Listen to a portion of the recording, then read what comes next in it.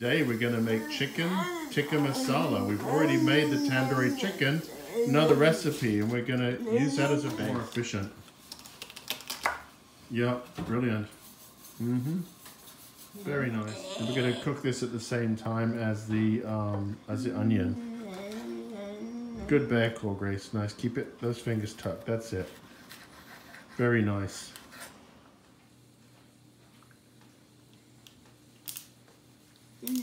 Yeah, nice. Nice, that's enough. Good. Perfect. Then switch it on. Switch it on high, Gracie. Nice, Grace. Put it all in the peppers too. The peppers, onions, and the peppers. Not the meat yet. Not the meat. Yeah. Yeah, perfect. Remember I told you something, you might have to hold it a little bit too. Might have to hold that handle because it tends to slide around. It's a really big cast iron pan. It's just the best for browning any kind of onions and peppers. Special Persian blue salt that Grace is partial to. Chef Grace. Yep. And, do, and then do another one, okay? Yeah, you got it. Now put another one in. And then mix it in. Good shaking. Good shaking. And another. Yeah, the chicken. Go put it in. Nice. Very nicely done.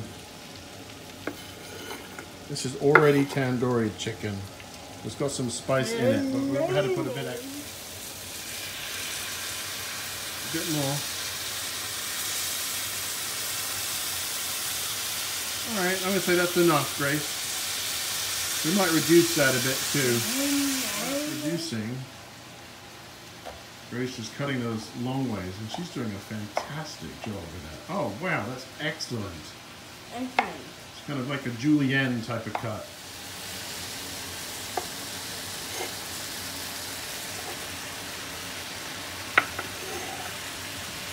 Gonna give those a good stir and a fry up. That'll be brilliant.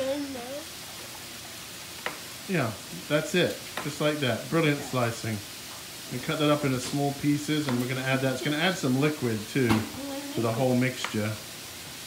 What we like about mushrooms, it adds liquid. And look at the speed you're doing that with. That's fantastic. And finally the mushrooms. We're just going to add that liquid. And lastly is the sour cream. That's what really gives it that lovely, we've reduced the uh, chicken broth and we're going to give it this lovely creamy texture. Yeah, you got the idea.